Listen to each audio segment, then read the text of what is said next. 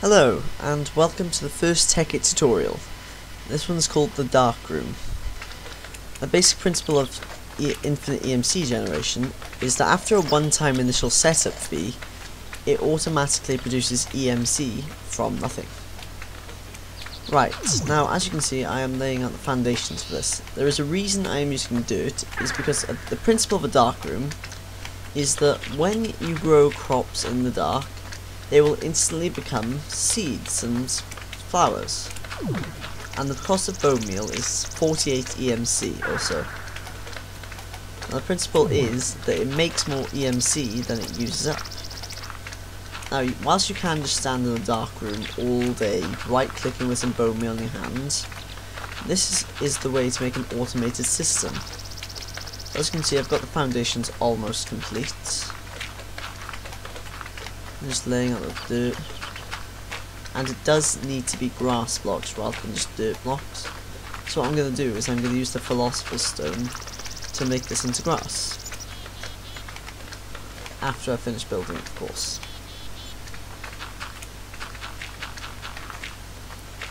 However, I do suck at building whilst recording because there's a lot of pressure put on me. Not to screw up.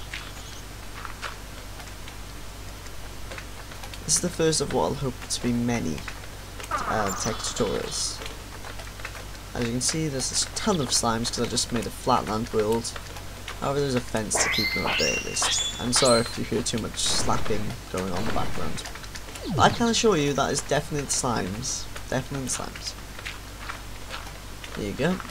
All grass blocks now.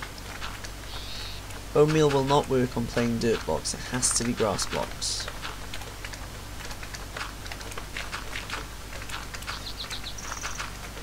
Right, now the machines we're going to use are from Red Power, and they're called deployers, filters, and transposers. We'll also be using some redstone tubes, and from equivalent exchange we shall be using some energy condensers. Energy condensers can just make one thing into another automa automatically, as long as it has one copy of the thing it's making in the top left slot. Right, here I am marking out where all the transposers in the ceiling will go, and the deployer at the bottom will go.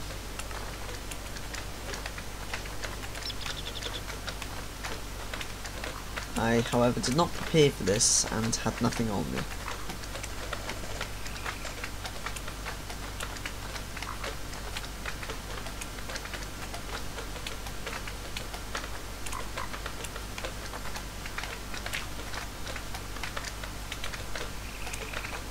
As you can see, I'm just screwing about with my inventory currently. Oh crap, it's getting dark. I have nothing to up. And there you go, the first one, the deployer. What the deployer will do, it basically automatically right clicks for you. I need it pointing up, so you get a screwdriver or a sonic screwdriver. Just right click until you see that the brown bit is facing up. Now with the deployers, you want them to be facing down. So as you can see, that plus type heads needs to be facing down. Now be warned, if you stand on them, you will fall through them. It's currently a glitch. Whilst fall isn't completely necessary, it's just in case you accidentally make too many entities, which are the floating things, and it lags too. If you're a redstone tubes, these tubes are really smart. They will carry things to the nearest chest available, and if it's full, they'll carry it to the next chest. Be warned, however, having too many items in them can lag your world, and dark rooms will produce a bit of lag, reducing your FPS by about 10, which can be quite bad. It should be fine on servers though, except for the person hosting them.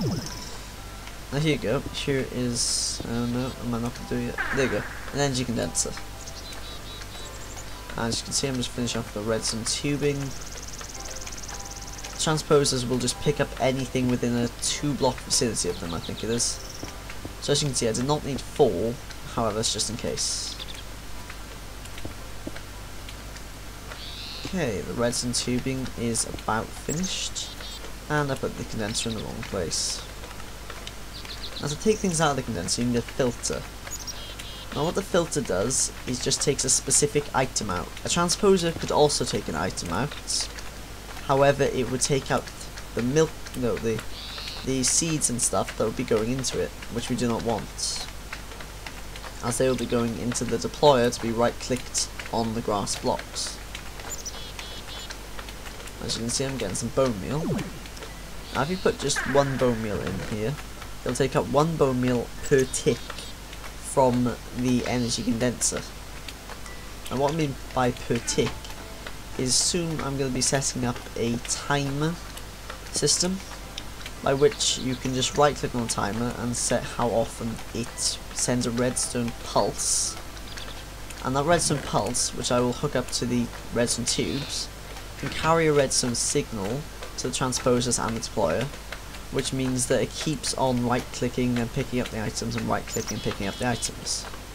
Also the filter will keep extracting stuff. Here we are, I'm setting up the timer. You need some red alloy wire and a jacketed wire, doesn't matter which jacketed wire. Now the reason one condenser is further away is because they're so smart they'll go to the nearest chest, as I mentioned. So when that one chest is full, it will go to that chest. Now the minimum tick rate you can have is 0.450 seconds. Anything other than that and it doesn't work properly. As you can see there's no redstone signal going to those. So you put down more jacketed cable and everything's working. As you can see there's seeds and flowers coming out the top. They'll be going into the first condenser as it's closest and producing more bone meal. As you can see this is made an infinite system.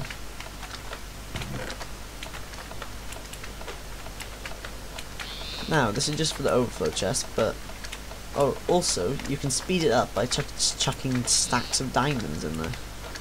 There's also another method, which I will show later, but this is probably the quickest. Right, you can see it's full of EMC. Now the seeds are going to next oh, chest, which is not full, which has a diamond in it. So, over time, all those seeds will be making diamonds. It's a pretty quick rate. However, it's also replenishing the bone meal in the other chest at the same time. Uh, where did the audio, where did the video go? Okay, I'm not sure what happened there, but I'm not sure what I did just then either. Um, oh right, I'm going to show you what what the inside of it looks like. Basically, you can see how this only works in the dark, because if you let light in, then um, you can just about make that out, but in the darkness it works, and in the light it doesn't. So you need to make sure it's pitch black in there. And as soon as you shut it, it'll just keep on going. And yeah, that's the basic principle. I'm not sure if I show it, but there's also another thing you can do whereby you put one bone meal in each slot of the chest and that will fill it up. I'm not sure where all my video footage has gone currently. But anyways, that is how to make Infinite EMC, the very first version. I hope you enjoyed, like if it helped, comment if you have any problems or issues, As you can see, just fill each slot with a single bone meal, and then the condenser won't take it out, and as one stack goes, it'll keep refilling and replenishing the bone meal stock, and you'll get diamonds really fast. And I don't know why the video's gone. Goodbye.